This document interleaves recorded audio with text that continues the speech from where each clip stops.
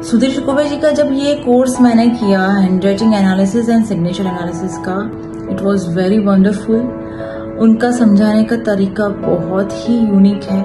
वो story form में और लाइफ लाइफ के रियल इंसिडेंट्स को कनेक्ट करके एक्सप्लेन करते हैं, जिससे हमें तुरंत याद रह जाता है और उस कंसेप्ट को हम समझ जाते हैं। So this was amazing experience to learn graphology from him and I really enjoyed it. I think we all should learn graphology. It is must क्योंकि हम खुद को और दूसरे को बहुत अच्छी तरह से समझने लगते हैं with the help of graphology